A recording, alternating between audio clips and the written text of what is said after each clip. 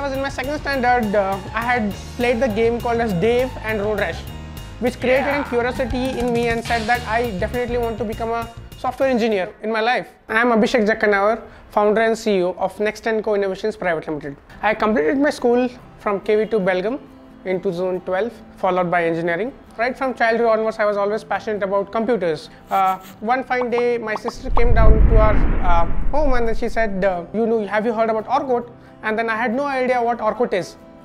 And then, but that curiosity in me wanted me to find out what is Orkut.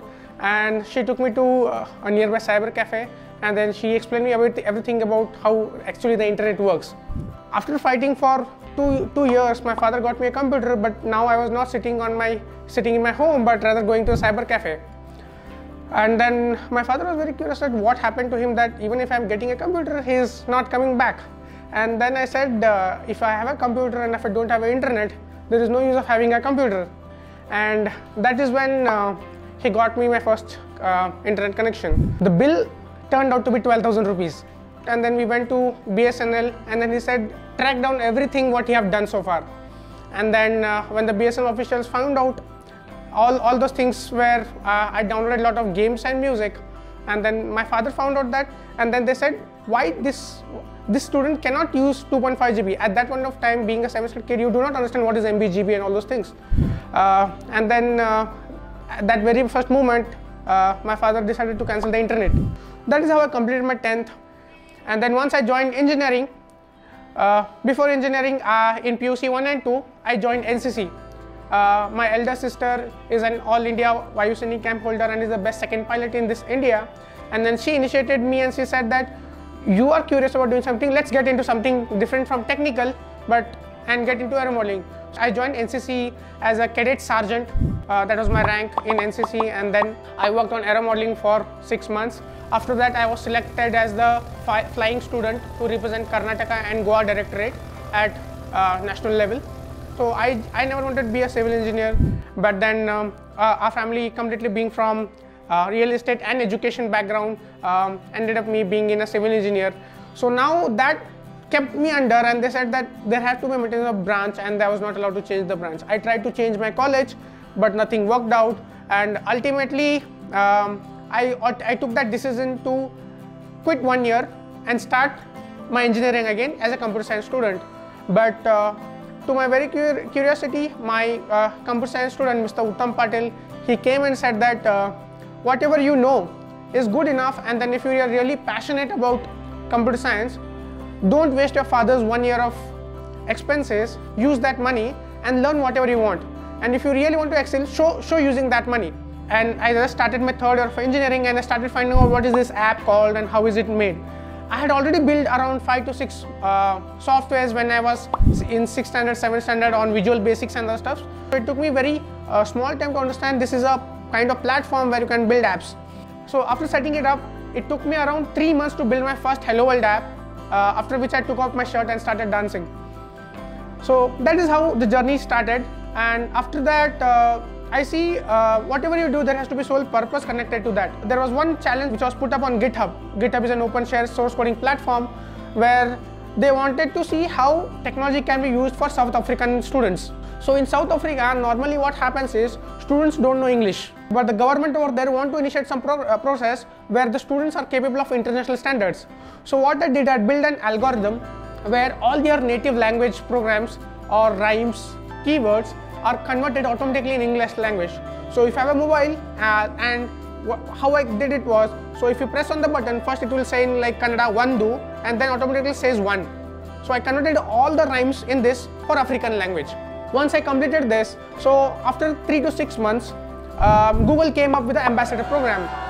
Now this was also an opportunity because Google was looking for somebody who at least have skills in technology and now they wanted to train them for 6 to 8 months and then this student will go and become a facilitator and teach next 200 300 students in their community but now I had already learned Android I built the whole app in just 2 to 3 days so now I think that is one key part which kept me apart from the other competitors so once I become the Google ambassador uh, things started uh, becoming more positive uh, because I, I, I thought there was an happiness in what I was doing Right after that, I started training students. I started conducting my first workshop. In our college, we have an event called as Invento. I said, why not build a mobile application for our event? And then I said, let's start this. So it was 2016 is when we started building it. Uh, so 2016 Invento app for a college was built by me and my other two partners uh, which took us around 11 months to build that first app. 2017, we built it in one week. In 2018, something similar happened and now there were more than 3,500 students coming down. So 3,500 students coming, more than 50 events. So it will take a lot of human power to sit and explain all the events. We'll build an app and we'll make it completely digitalized.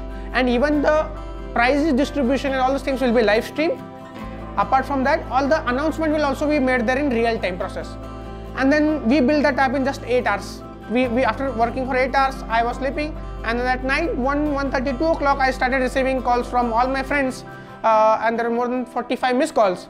Now I was very much shocked that what has happened and uh, the very next morning when I went and saw that our mobile app which we have built in 8 hours stood out as India's third best mobile application and world's seventh best application and was recognized by AppBrain team which is also a part of Google. So this is what how my third year uh, finished off. Now the, we had an event at 2018 event, the app which I built, uh, and then the chief guest for that event was uh, Raj Srikaran, who was who is TCS talent acquisition head for uh, India. And then uh, when this this was announced, then uh, they facilitated me on the stage. And then he asked that which company you are placed. I said, so I'm placed, and I'm placed because I belong to this department. And then uh, he called his colleague and he said, uh, see what can be done for him and that is how I got an opportunity for TCS. This was my all-time dream but that very moment when he offered me that and then I was walking to the stage, I felt I should not take that job and I, sh I should do something of my own. Everybody was shocked that from past 3 years and from past 15 years you were saying that you want to do job, you want to do job. Now accidentally you're saying you don't want to do job.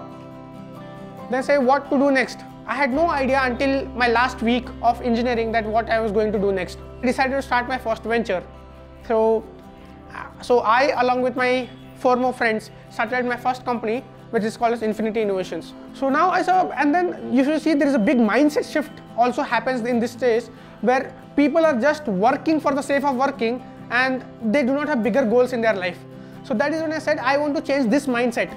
I want to even after engineering I want to make students feel that it's okay to take one year, two year, three years gap and find out what your purpose is and start working on it. So if you see the biggest challenge today, what is happening is students from tier 2 and tier 3 cities are shifting to Bangalore because they see that is the biggest opportunity there. Even after engineering, I made uh, a thing very clear that I'll not go to Bangalore. The one thing is because it is not because uh, I'll get job there, it is because I'm homesick. I wanted to be close to my family and then have a peaceful life. But most of the students, I said, if I can make a student earn even 20 to 25,000 being in a tier 2 city, I think that should be my accomplishment as a company or an individual. If I can make that, that is, that is success for me. So I took around 10 to 12 students and I trained them specifically in detail as I was doing a lot of workshops also. In Karnataka, there are around 1 lakh 10,000 students.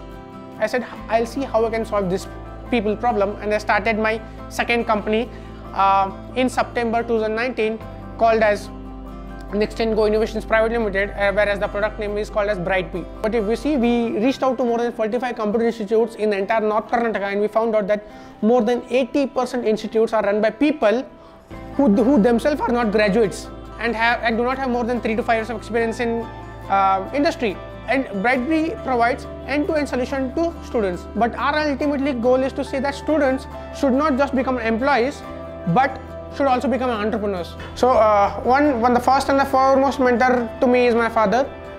And then uh, that is where I see uh, my major role, whatever I've been today is just because of my father. Followed by my uh, sister who has already been, uh, always been behind my back irrespective of make mistakes. She always takes me forward. Um, the biggest risk in life is not taking any risk.